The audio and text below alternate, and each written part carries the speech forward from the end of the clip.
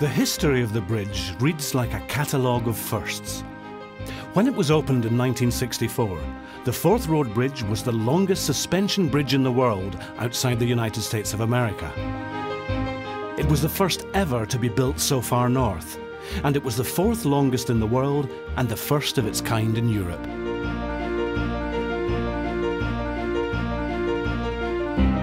It is a singular engineering achievement and a proud Scottish icon.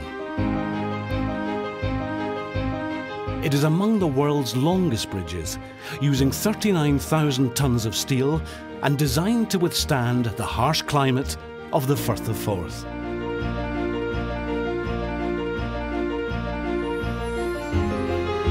Probably the biggest change has been in traffic volumes. When the bridge opened in 64, there were 4 million vehicles crossed in the first year. Last year, there were 24 million vehicles crossed the bridge. It's important to remember that a bridge is a living structure. It has to respond to changes of weather, temperature and volume of traffic.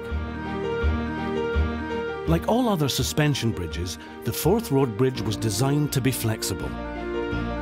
In fact, it's useful to think of the bridge as a machine with moving parts, expanding and contracting to accommodate the weight of traffic and changes in the weather. For example, a temperature difference of 25 degrees centigrade causes the steel in the bridge to expand or contract, lifting or lowering the main span over a metre in height.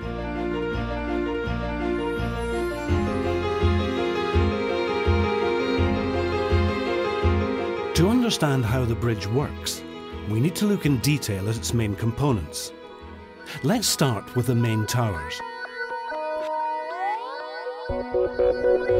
Rising 156 metres above high water level, the two main towers support the majority of the bridge's weight. They were strengthened in 1998 to cope with the increased weight of traffic now using the bridge.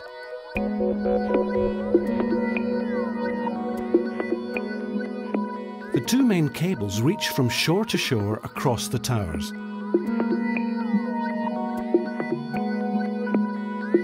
Each is made up of 11,618 individual wire strands, wrapped tightly together to form a 60 centimetre wide cable, weighing more than 7,000 tonnes.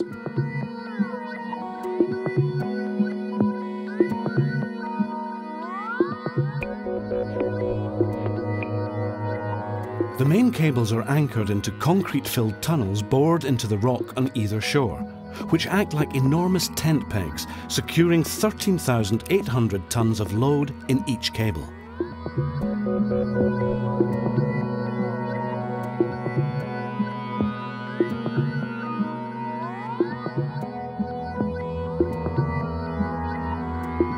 The entire weight of the bridge deck and all the traffic is suspended from the main cables via 768 steel hanger ropes. These ropes transfer the load back up the main cables and down the towers. This suspended span measures over 1.8 kilometres.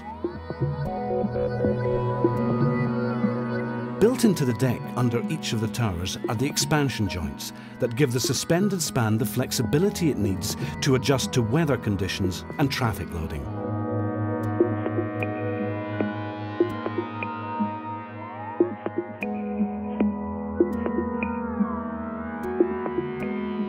The bridge is approached by viaducts on reinforced concrete piers.